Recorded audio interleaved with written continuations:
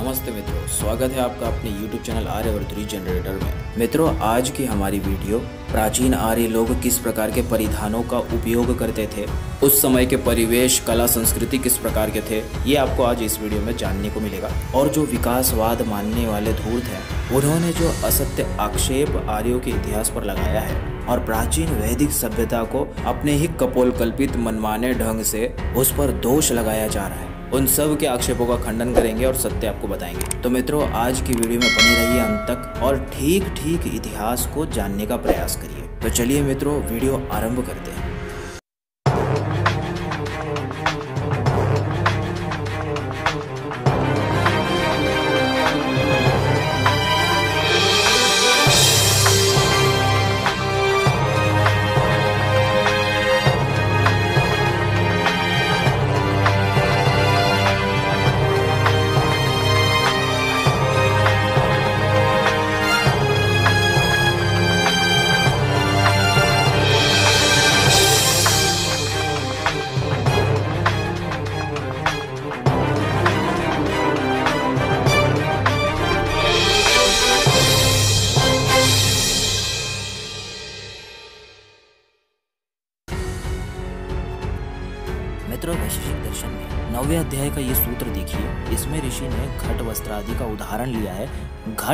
अर्थात घड़ा और पट यानी वस्त्रादि को कहते हैं, जो तंतुओं इत्यादि से निर्मित होती है। तो इन घट पट वस्त्रादि के निर्माण के पूर्व ये नहीं थे, ये तंतु रूप में थे। समवाय और असमवाय कारण में भी घटपट आदि का उदाहरण दिया जाता है, ये स्क्रीन पर आप पढ़ सकते हैं। आज जो ये पूरा विश्व सिल्क इत्यादि का वस्त्र बनाता है, ये हमसे ही रेशम के कीड़े द्वारा रेशम धागा निकालकर जो वस्त्र बनता है, जिसे रेशमी वस्त्र कहते हैं ये यहाँ से ही विद्या पूरे विश्व में गई है। कुछ इस प्रकार के कारखाने पहले यूज़ होते थे। प्राचीन आर्य सिले हुए कपड़े भी पहनते थे और न सिले हुए कपड़े भी पहनते थे। जैसे साड़ी और धोती इत्यादि वस्त्र। हमारे यहाँ लिनन के ड्रेस यानी सन के पौधे से निर्मित वस्त्र, इसे क्षौम वस्त्र कहते थे। कार्पस वस्त्र, ये कॉटन क्लोथ के लिए आता है। कौशेय वस्त्र, यानी सिल्क क्लोथ रांकव वस्त्र लेदर या वुलन क्लोथ्स जो पशुओं से, उनके बालों या रेशों से बनते थे। वो वस्त्र, जैसे वुलन क्लोथ भी आज कहते हैं, तन को जिस साधन से ढका जा सके, उसे ही वस्त्र चीर इत्यादि कहते हैं। पूरा विश्व भारत के वस्त्रों का गुणगान कर रहा है और हमारे यहाँ के लोग वेस्टर्न्स की गुणगान कर रहे हैं और ये कह रहे हैं कि यहाँ के लोगों को वस्त्र पहनने का ढंग नहीं आता था, उन लोगों ने आपको सिखाया। अब कुछ मूर्खों को भी फ़ेमस करना ज़रूरी है तो इनको भी पढ़ लेते हैं। In many ancient India before the Mughals and the appearance of Islam it was common for women to be topless अब ये क्या आक्षेप लगा रहे हैं? Mangalsutra and vermilion are not men anywhere in the text तो हड़प्पा में कौन बना गया? तुम्हारे दादाजी? ये प्रीति रंजन स्वयं क्या कह रही है? Yes it's true in ancient India women use to keep their upper bodies completely bad of clothing women wearing jewels no custom of covering upper body with clothes अब देखिए, यहाँ पर अभिजीत चावड़ा जी अपने इस वीडियो में ये दावा कर रहे हैं कि प्राचीन स्त्रियाँ ऊपर के वस्त्र इत्यादि नहीं पहना करती थी। इनका भी हम आगे खंडन करने वाले हैं। इससे पहले हम वर्मिलियन पर ले लेते हैं। क्या प्राचीन काल में वर्मिलियन का उपयोग होता था? इसके क्या एविडेंस है? यदि हड़प्पा काल महाभारत कालीन था तो उस सभ्यता में महाभारत कालीन वस्तुएँ क्यों नहीं मिलते? सिंदूर लगाने की प्रथा केवल वैदिक लोगों की है और बुद्ध के जन्म से पूर्व विवाहित स्त्रियाँ सिंदूर लगाती थी, इसके कोई टेक्सटुअल एविडेंस है तो दिखाइए। तो मित्रों, अब देखिए महाभारत से सिंदूर के प्रमाण। महाभारत काल में विवाहित स्त्रियाँ अपने मांग में सिंदूर लगाती थी, इसके प्रमाण देखिए। आदि पर्व में आस्तिक पर्व एक उप पर्व है, उसका फोर्टी फोर्थ अध्याय ये गीता प्रेस से देखिए। यहाँ मित्रों, तक्षक नाग जो नागवंश में हुआ एक महाभारत कालीन योद्धा था, जिसने कौरवों के पक्ष से युद्ध किया था। उसके आकाश गमन के संदर्भ में महर्षि वेदव्यास उसकी उपमा विवाहित स्त्रियों के केशों के बीच में खींची रेखा, जिसमें सिंदूर भरा जाता है, उससे कर रहे हैं। इसे आप इंग्लिश ट्रांसलेशन में देखिए बहुत अच्छे से। वही chapter Sauti said hearing the words of Takshak the minister all fled and as they were running away they saw the king of the snakes यानी नाग the wonderful serpent Takshak going away through the sky like a streak with the colour of the lotus यानी lotus की भांति लाल रंग का his coursing through the sky looked like the vermilion line in the middle of the dark masses of a lady's hair वह वैसा ही दिख पड़ता है जैसे किसी लेडी के केशों में सिंदूर की रेखा खींची जाती है। तक्षक जिस किसी भी यान में उड़ान भर रहा था, वो यान लाल रंग का होगा। इसी प्रकार से अन्य ट्रांसलेशन में भी आप देख सकते हैं। And as they were flying away in great grief they saw Takshak the king of snakes that wonderful serpent coursing through the blue sky like a streak of the way of the lotus and looking very much like a vermilion coloured line on a women's crown dividing the dark masses of her hair in the middle अब ये पूर्ण रूप से सिद्ध हो गया कि हड़प्पा काल महाभारत को ही सिद्ध करता है और जैसा महाभारत ग्रंथ में लिखा है, वैसा ही आर्कियोलॉजी इत्यादि से निकल रहा है। तो जिस प्रकार से प्राचीन काल में महिलाएँ अपने केशों के बीच सिंदूर लगाया करती थी, उसी प्रकार से आज भी विवाहित स्त्रियाँ अपने केशों के बीच सिंदूर लगाती हैं। ये यहाँ सिद्ध हो गया। अब आगे साज श्रृंगार में बिंदी को लेते हैं। मित्रों, बुद्ध से पूर्व ये नौशेरा मोहन जोदड़ो से प्राप्त इन मूर्तियों के सिर पर देखिए। यहाँ आपको इन टेराकोटा फिगरेंस के माथे पर बिंदी या तिलक का आकार दिख रहा होगा। प्राचीन काल से आर्य लोग अपने माथे पर ऊर्ध्व रेखा इत्यादि खींचा करते थे, जिससे मस्तिष्क ठंडी रहे। यह आयुर्वेद में भी आया है। ये देखिए, गृह सूत्रों में नाक और माथे के बीच में चंदन का लेप लगाने के लिए कहा गया है। उसे ही आज लोग गलत वर्ड में तिलक कहते हैं। तिलक शब्द व्याकरण से गलत है। तिलक यानी तिल से बनी हुई वस्तु। वास्तव में इस ऊर्ध्व रेखा को चंदन का लेप कहना ही उचित है। तिलक शब्द गलत है। महर्षि दयानंद ने तिलक शब्द का खंडन करते हुए वेद विरुद्ध मत खंडन में जो लिखा है स्क्रीन पर आप पढ़ सकते हैं। तो देखिए, पंडित लेखराम जी ने अपनी जीवनी में महर्षि दयानंद का एक संदर्भ बताया है, जहाँ महर्षि ने स्वयं अन्य लोगों को साधारण माथे पर सिंपल सा उर्दू रेखा खींचने की आज्ञा दी है। ये आप भी पढ़ सकते हैं। तो महर्षि दयानंद तिलक का खंडन कभी नहीं किया। वैष्णव तिलक और त्रिपुंड इत्यादि के सांप्रदायिक तिलक, जिसमें फलित इत्यादि जोड़कर उससे मोक्ष, उससे फल इत्यादि जो जोड़ते हैं, उन सारे पाखंडों का खंडन किया। अब देखिए, ये कुछ कार्विंग से जहाँ पर आप सिंदूर लगाने की परंपरा स्पष्ट रूप से देख सकते हैं। स्क्रीन पर देखिए।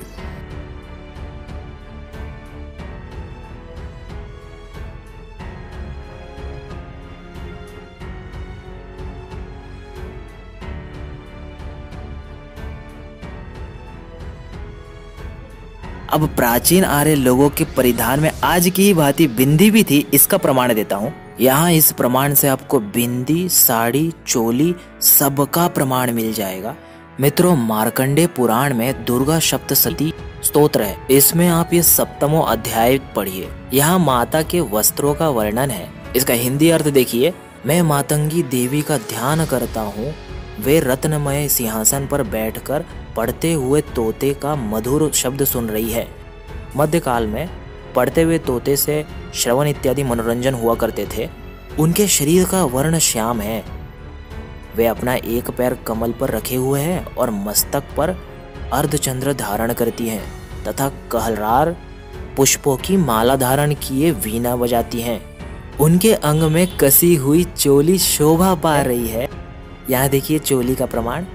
वे लाल रंग की साड़ी पहने हाथ में शंखमय पात्र लिए हुए है। लाल रंग की साड़ी माता ने पहना था और चोली भी यहाँ पर सिद्ध हो गया। उनके वदन पर मधु का हल्का हल्का प्रभाव जान पड़ता है और ललाट में बेंदी शोभा दे रही है। ललाट में बिंदी भी सिद्ध हो गया। मार्कंडे पुराण को पंद्रहवीं सदी में रचा गया था। शाक्त मत बहुत प्राचीन है। उन लोगों ने अनेक ग्रंथ बनाए थे। उसी को संकलित रूप में वेद व्यास के नाम पर मार्कंडे पुराण पंद्रहवीं शताब्दी में रचा गया। अब नेक्स्ट देखिए। अब देखिए मित्रों, प्राचीन काल में सिले हुए वस्त्र भी पहना करते थे और बिना सिले हुए वस्त्र भी पहना करते थे। आर्यवर्त में इन दोनों प्रकार के वस्त्रों का चलन था। परंतु सिले हुए वस्त्रों का पहनने का चलन वैदिक कर्म कांड इत्यादि में निषेध रूप में माना जाता था। वहाँ बिना सिले हुए वस्त्र ही धारण करने पड़ते थे और बहुमात्रा में वैदिक लोग बिना सिले हुए वस्त्र ही धारण करते थे, जैसे साड़ी, धोती, वस्त्र इत्यादि। सिले हुए वस्त्रों का प्रमाण आर्कियोलॉजी से हड़प्पा काल में मिलता है। प्राचीन काल में भी फ़ैशन कम नहीं था। उस काल में भी आज की भांति कुछ इस प्रकार के सिले हुए वस्त्र धारण करते थे कुछ लोग। और जिस प्रकार से मोहनजोदड़ो इत्यादि में जो वेसल्स मिले हैं, जिसमें रंग बिरंगे आर्टिस्टिक चित्र बनाए गए हैं, इससे यही सिद्ध होता है कि उस समय के लोग आर्ट, कला इत्यादि में बहुत सक्षम थे। अभी इससे पूर्व के हम उन सारे कलाओं को पढ़ें, उससे पहले हम आपको एक फैक्ट बताते हैं जो वामपंथियों से आप सवाल कर सकते हैं। आज हमें संस्कृत भाषा में एक शब्द, सीवियत, मिलता है। अब मित्रों, ये प्रमाण देखिए, ये विदेशी इंग्लैंड इत्यादि को निडल बनाना भारत ने सिखाया। इन लोगों को नीडल तक बनाना नहीं आता था और ये हमें कह रहे हैं कि आपको सिलने इत्यादि की चीज़ें नहीं आती थी। जो वामपंथी यहाँ के सेक्युलर लोग हैं जो कहते हैं कि अंग्रेज़ों ने यहाँ पर आके डेवलपमेंट किया, तुम्हें पढ़ना, लिखना सिखाया, जीना सिखाया। वे महामूर्ख हैं, अंग्रेज़ों ने यहाँ पर कुछ नहीं सिखाया, कोई डेवलपमेंट नहीं किया। वे सबसे बड़े सेल्फिश और स्वार्थी थे। उन्होंने आपकी विद्या, आपकी कला, संस्कृति और आपकी सारी गुणवत्ता को चुराने और नष्ट भ्रष्ट करने के लिए समस्त प्रयास किए। उन्होंने हाईवेज बनाए तो उससे अपने मालों को चुराने के लिए। वे भारत में आए तो लूटने के लिए। रेल बनाई तो लूट के लेके जाने के लिए। आज भी आप ब्रिटेन में देख सकते हो, इन सारी म्यूज़ियम में चुराए हुए माल वहाँ पर रखे हुए सारी मैनुस्क्रिप्ट से लेके सोना इत्यादि सब चोरी करके ये लोग ले गए। और ये विदेशियों ने सब भारत की टेक्नोलॉजी इत्यादि सब चुरा कर अपने नाम से वहाँ पे छाप रहे हैं। अब आप देखिए वात्स्यायन के काम सूत्र से प्राचीन भारत का इतिहास आप देखिए। प्राचीन भारत में कौन कौन सी कला थी जिसमें उस काल में सभी सक्षम थे? इसे पढ़िए। ये तीसरा अध्याय विद्या समुद्देश में, ये पंद्रहवें सूत्र में सभी चौसठ कलाओं का नाम पढ़िए। गीतम, यानी गाना। वाद्यम, यानी बाजा बजाना। नृत्यम, यानी नाचना। आलेख्यम, यानी चित्रकारी करना। विशेष कच्छेद्यम, भोजन के पत्तों को तिलक के आकार में काटना। तांडुल कुसुम वली विकारा पूजन के लिए चावल तथा रंग बिरंगे फूलों को सजाना। पुष्पास्तरणम घर अथवा कमरों को फूलों से सजाना। ये देखिए, यहाँ पर जो गृह डेकोरेशन है, वो प्राचीन काल में भी हुआ करती थी, उस पर भी ध्यान दिया करते थे लोग। दश नव सनांग राग, कपड़ों, शरीर और दांतों पर रंग चढ़ाना। ये देखिए, कपड़ों, शरीर और दांतों पर रंग चढ़ाने की बात। शरीर पर रंग चढ़ाना यानी टैटू और दंतों पर भी रंग चढ़ाते थे, इस प्रकार की भी कला उस समय लोगों को ज्ञात थी। यहाँ दांतों से हाथी दंत इत्यादि का भी प्रमाण माना जा सकता है। आज भी हाथी दंत इत्यादि ब्लैक मार्केटिंग में बहुत बिकते हैं। तो इसका उपयोग प्राचीन काल में भी बहुत लोग करते थे, साज सज्जा इत्यादि सजावट में। मणिभूमि का कर्म, फर्श पर मणियों को बिछाना शयन कचनम शैया की रचना उदका वाद्यम पानी को इस प्रकार बजाना कि उससे मुरजनाग के बाजे की ध्वनि निकले। उदका घात, जल क्रीड़ा करते समय कलात्मक ढंग से छींटे मारना।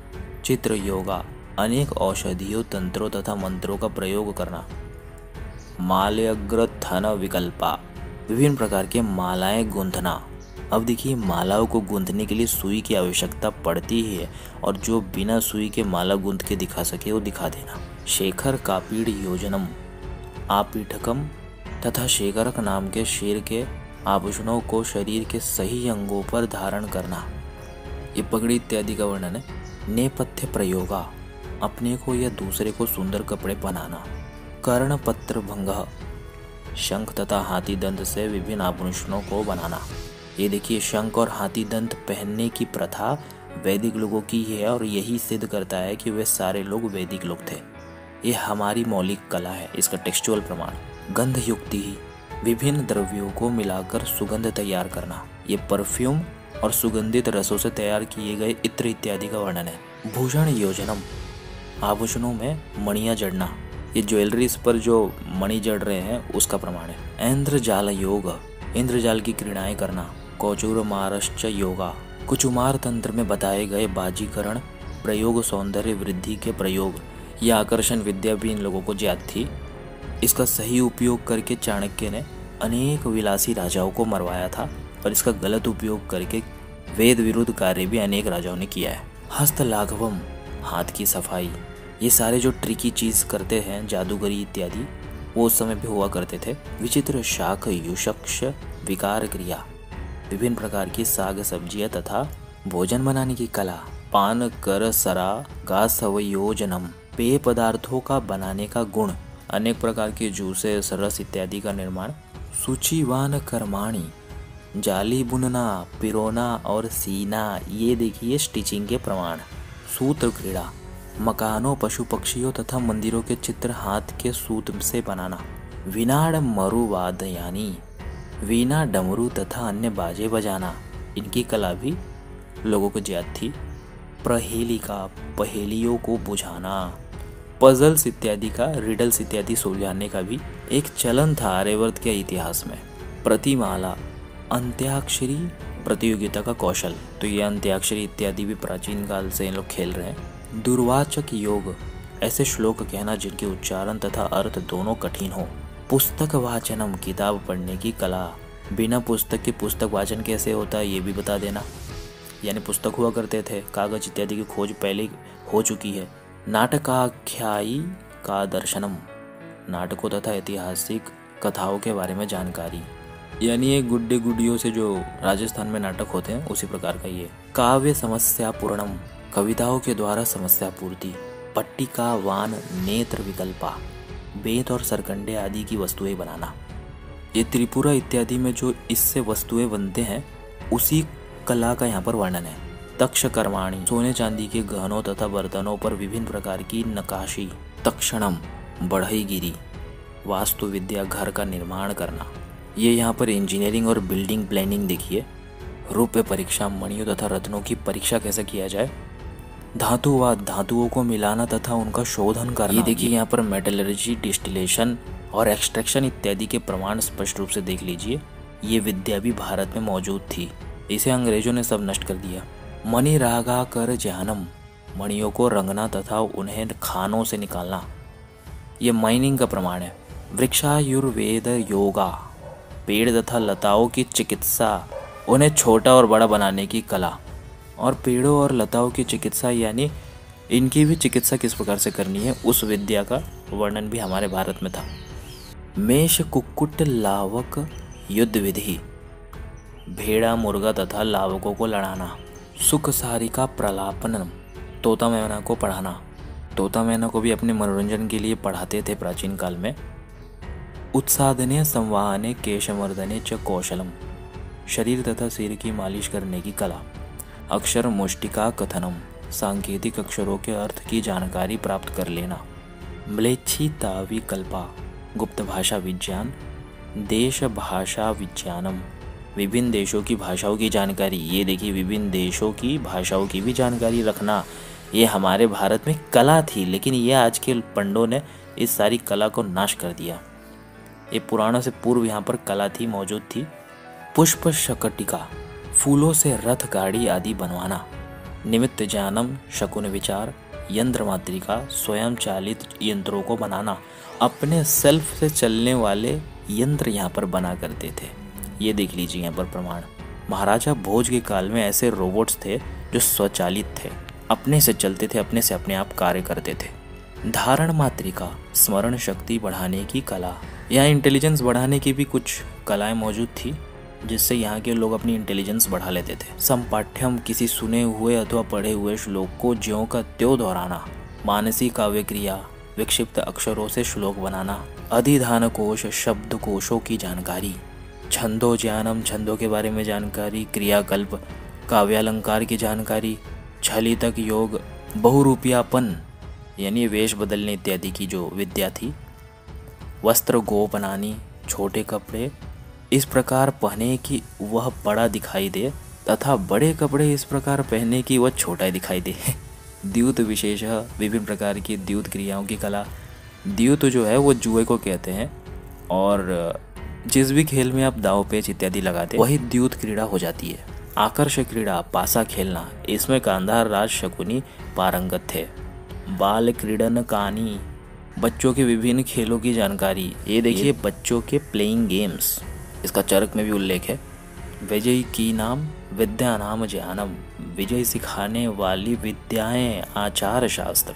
जीतने की टैक्टिक्स यहाँ पर दूसरी बार भी रिपीट किया विजय की नाम विद्यानाम ज्ञानम विजय दिलाने वाली विद्याएँ तथा आचार्य कौटिल्य का शास्त्र। ये कौटिल्य के बाद में लिखा गया ग्रंथ है। व्यायामी किना विद्या नाम ज्ञानम व्यायाम के बारे में जानकारी, जो योग, प्राणायाम इत्यादि और दंड बैठक इत्यादि के अनेक व्यायाम के भारतीय कला जो निर्मित थी, जो कलरी पयटू इत्यादि युद्ध कला थी मल्ल विद्या कुश्ती इत्यादि, वो सब के सब हमारे प्राचीन व्यायाम के अंतर्गत आ जाते हैं। तो ये है चौसठ कलाएँ। तो प्राचीन काल में नीडल्स थी, उसी से हमारे भोजपत्र पाम लीव्स गूंथा करते थे और सिले हुए कपड़े भी छोटे बच्चों इत्यादि के लिए बनाया करते थे। ये सभी प्रमाणों से हमने सिद्ध कर दिया। अब आगे देखिए। अब देखिए मित्रों, महाभारत काल में दर्पण और उपनेत्र के प्रमाण। मित्रों, ये जानकारी सभी वामपंथियों के लिए आश्चर्य युक्त होगी। क्योंकि अब हम आपको महाभारत काल में स्पेक्टेकल्स या चश्मे का प्रमाण देने वाले हैं। महाभारत काल के लोग चश्मे इत्यादि का भी उपयोग करते थे। इससे पहले आप वामपंथी लोग क्या पढ़ाते हैं, ये देखिए। तेरहवीं शताब्दी में हुए इटली में साल्विनो डी आर्मती, इनको लेंस और चश्मे का आविष्कारक माना जाता है। आप सबको पुस्तकों में यही पढ़ाया जाता आ रहा है, चश्मे, उपनेत्र इत्यादि का भारत से कोई लेना देना नहीं है, ये इटली से आविष्कार हुआ। ये एक मित्रों सफ़ेद झूठ है। ये पूरे विश्व ने भारत से उपनेत्र और लेंस इत्यादि की शिक्षा प्राप्त की है। इसका प्रमाण आप महाभारत से देखिए।